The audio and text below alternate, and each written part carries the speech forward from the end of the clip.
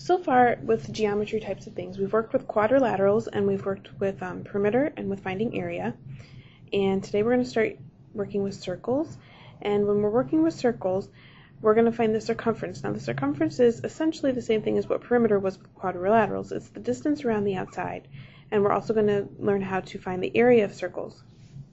Here are a list of vocabulary words that you should be familiar with. You need to know what a circle is, obviously um, you need to know what a radius is. The radius is the distance from the middle of a circle to the outside edge. Uh, the diameter is another important thing to know. It's the distance from one side of a circle to the other side if you're passing through the center point of the circle. The circumference is the distance around the outside of a circle. And the last thing that's new to us is that we're going to work with pi. Pi is an irrational number that's approximately 3.14 Formulas that you need to be familiar with for the work that we're going to do today. Um, first of all, you need to know circumference. Circumference equals 2 pi times pi times radius. Area is equal to pi times radius squared. And then the last two are kind of common sense little things. If we think about the definitions of what a diameter and a radius are, if we have a circle, the diameter goes all the way across and the radius goes from the middle to the edge. So if we want to know what the diameter is, we could take the radius and multiply it times 2. And if we wanted to know what the radius was, we could take the diameter and divide it by 2 to find those numbers. Now the formulas we're using are all going to use radius, so if they give you the diameter, you're going to have to remember to divide it by 2 to get the radius so that you can do the calculations. Here's the examples we're going to go through. For, both, for all of these circles, we want to find their circumference and the area.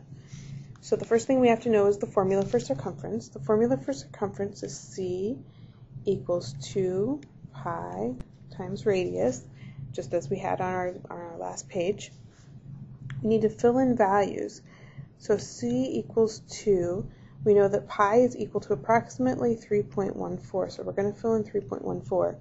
And then we need to fill in the radius. Now they give us the radius in the picture, so we don't have to do any calculating to figure that out. Our radius is 5.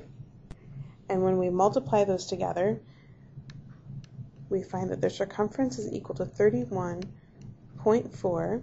We need to put a label on our answer, and our label is inches. To find the area, again, we need to know what formula to use. So if we look back to our formulas over here, area equals pi r squared.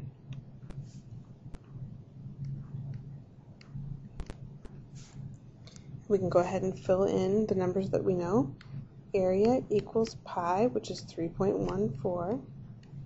The radius of the circle is 5, and we need to remember to square it because that's in our formula. When you go to do the calculations, if you're using your calculator, feel free to use that x squared button over on the left side to figure the 5 squared. So when you punch that into your calculator, you'd punch in 3.14 times 5, hit the x squared button, and then hit equals. When you do that, you would get your answer, which is 78.5. We have to go ahead and label it, and since we're working since we're working with area, we know that our answer has to be in units squared. So it's 78.5 inches squared.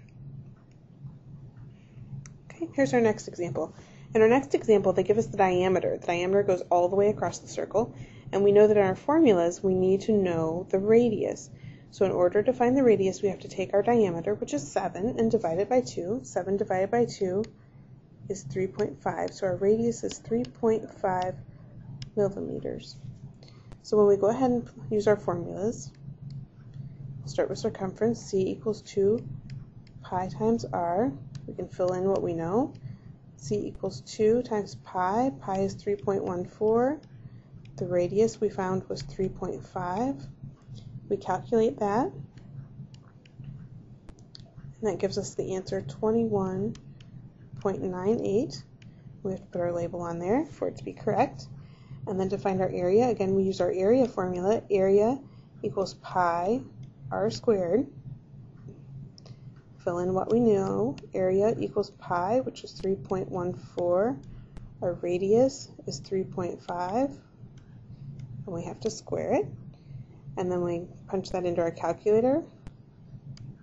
We get area equals 38.465 and put on our label millimeters squared. Okay, we have one last example to go through. This circle has a radius of 8. Radius is what we need to use in our formula, so we're all set. Let's put our first formula for circumference. Circumference equals 2 times pi times radius. We fill in what we know.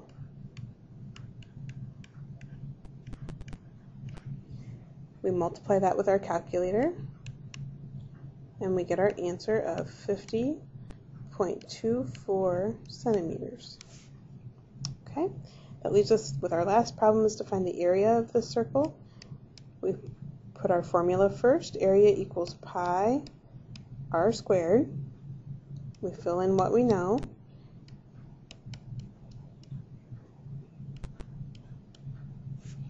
And then when we use our calculator to calculate that, we find that the area is 200.96 centimeters squared. Make sure when you're doing your work that you show your work. Make sure you show what formulas you're using. That'll help you have more accurate work in the end.